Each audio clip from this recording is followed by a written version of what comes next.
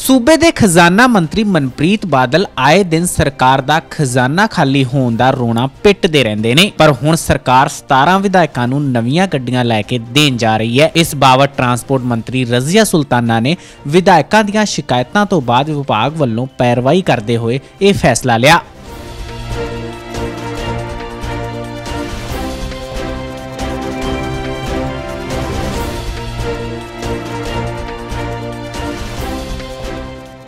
Transport ਮੰਤਰੀ ਰਜ਼ੀਆ ਸੁਲਤਾਨਾ ਨੇ ਕਿਹਾ ਕਿ ਜੇਕਰ ਵਿੱਤ ਮੰਤਰੀ ਫੰਡ ਨਹੀਂ ਵੀ ਦੇਣਗੇ ਤਾਂ ਵਿਭਾਗ ਕੋਈ ਨਾ ਕੋਈ ਹੱਲ ਕਰਕੇ ਵਿਧਾਇਕਾਂ ਨੂੰ ਗੱਡੀਆਂ ਜ਼ਰੂਰ ਲੈ ਕੇ ਦੇਵੇਗਾ ਉਹਨਾਂ ਨੇ ਦੱਸਿਆ ਕਿ ਕੁਝ ਵਿਧਾਇਕ ਇਸ ਤਰ੍ਹਾਂ ਦੇ ਵੀ ਹਨ ਜਿਨ੍ਹਾਂ ਦੀਆਂ ਗੱਡੀਆਂ ਚੱਲਣ ਦੀ ਹਾਲਤ ਵਿੱਚ ਵੀ ਨਹੀਂ कि नई गाड़ियाँ ना लेके दी जाएं सरकारी गाड़ियाँ ना लेके दी जाए नहीं अभी तो कोई ऐसा म, नहीं है कि भाई हम लोग सरकारी गाड़ियाँ ना लेके दी जाएं तो फिर वो एमएलए कहाँ जाएंगे जिनके पास जो बेचारे स्कूटर और साइकिल भी नहीं ले सकते हैं ਸਰਕਾਰ ਦਾ ਖਜ਼ਾਨਾ ਖਾਲੀ ਹੋਣ ਦਾ ਰੋਣਾ ਸਿਰਫ ਇੱਕ ਦਿਖਾਵਾ ਏ ਤੇ ਕਿਸਾਨ, ਬੇਰੋਜ਼ਗਾਰ, ਅਧਿਆਪਕ ਸਮੇਤ ਪੂਰਾ ਪੰਜਾਬ ਸੜਕਾਂ ਤੇ ਉਤਰ ਸਰਕਾਰ ਦਾ ਰੋਣਾ ਪਿੱਟ ਰਿਹਾ ਏ ਤੇ ਸਰਕਾਰ ਕੁਝ ਵੀ ਨਹੀਂ ਕਰ ਰਹੀ। ਆਪਣੇ ਵਿਧਾਇਕਾਂ ਨੂੰ ਗੱਡੀਆਂ ਦੇਣ ਲਈ ਵਿਭਾਗ ਹਰ ਹੀਲੇ ਵਰਤਣ ਲਈ ਤਿਆਰ ਹੈ।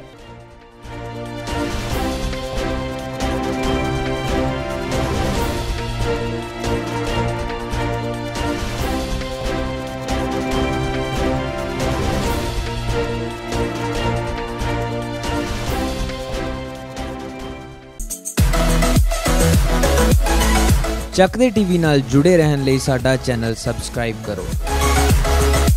ਵੀਡੀਓ ਸਭ ਤੋਂ ਪਹਿਲਾਂ ਦੇਖਣ ਲਈ ਬੈਲ ਆਈਕਨ ਤੇ ਕਲਿੱਕ ਕਰਨਾ ਨਾ ਭੁੱਲਿਓ।